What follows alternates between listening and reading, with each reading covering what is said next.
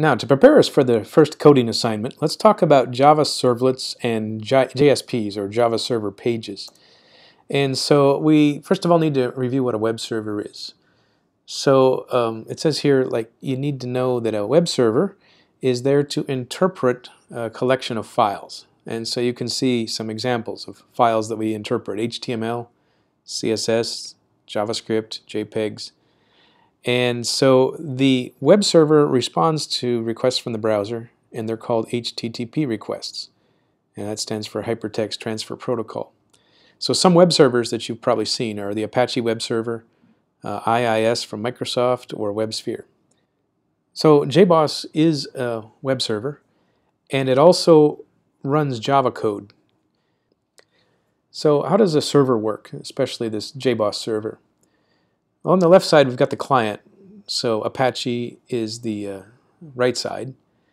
So the, the left side is either you know Chrome or Internet Explorer. And that's where the requests are initiated. Across the internet, it arrives then at the server. So a server can handle certain files really quickly, like static pages, HTML, JavaScript, or graphics. And if that's all the browser asked for, then they'll immediately be sent. However, if the application requires some processing, Apache will hand off its uh, control to another server like the, the JBoss server. You might call that an application server. And so this is where the, um, the, the idea of a dynamic web page comes from. Every page is custom designed, printed, and recreated for the browser. And then of course you can see the response is a is an intelligent page that comes back to the web browser. A servlet is the basic idea behind a Java dynamic web page. So a servlet handles the request from the browser and generates uh, an HTML file in return. So a servlet is the lowest level component that you would find in a Java um, application on the web.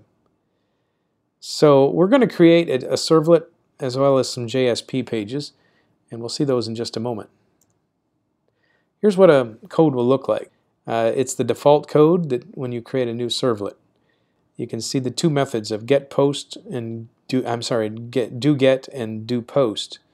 So those are the two types of communications that come from forms on a web browser. The other half of this assignment is the JSP section. So uh, a Java server page, or JSP, is a page that has a mix of code on it. So HTML, as well as some Java expressions.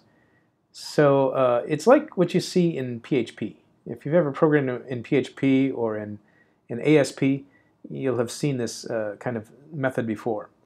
So it's been around since 1999, and we will be uh, using other technology pretty much to finish the, the main part of our app. But you have to see where we begin. So here's what a Java server page looks like.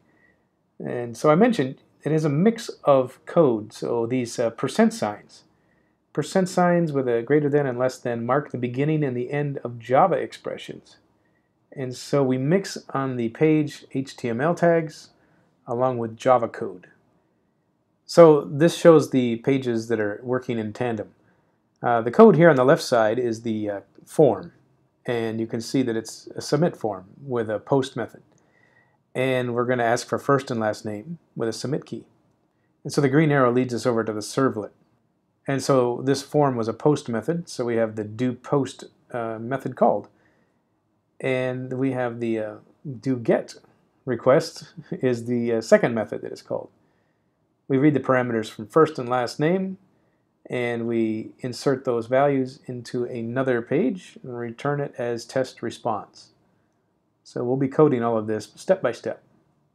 So I mentioned that the uh, technology has been around for a long time, and we're only going to do one assignment using JSPs and, uh, and servlets. Everything that is done these days is working with frameworks such as server faces or other MVCs. But uh, it's good to see where we started from back around uh, the year 2000. So let's get started here. We're going to go to the next video, which is I'm going to call activity 2A, which is building a servlet and a JSP page.